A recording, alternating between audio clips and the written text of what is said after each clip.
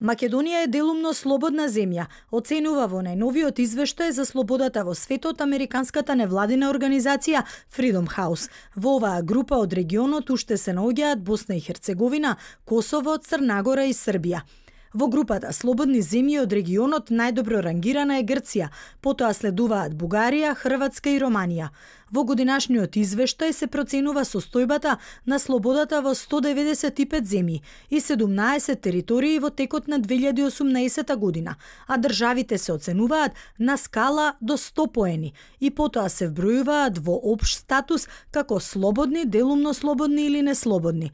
Србија во однос на минатата година се влошила за 6 поени во услови на политички права и граѓански слободи. И оваа година има 67 поени и се вбројува во групата на држави кои имале најголем губиток во една година – и Унгарија помина од слободни во делумно слободни држави, поради нападот на премиерот Виктор Орбан и неговата партија врз демократските институции. Од 195 земји, 86 или 44 се оценети за слободни, 59 или 30 за делумно слободни и 50 или 26 за неслободни земји.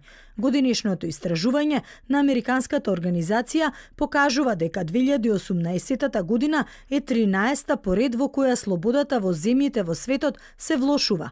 Во вкупно 68 земји на светот е забележано опаѓање на политичките права и граѓанските слободи во последните 12 месеци, додека само 50 земји забележале напредок на овие полиња.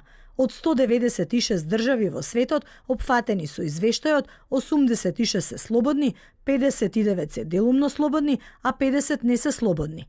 Најслободни држави се Норвешка, Шведска, Финска, Канада и Холандија, а најмалку слободни се Сирија, Туркменистан, Еритреја, Јужен Судан и Северна Кореја.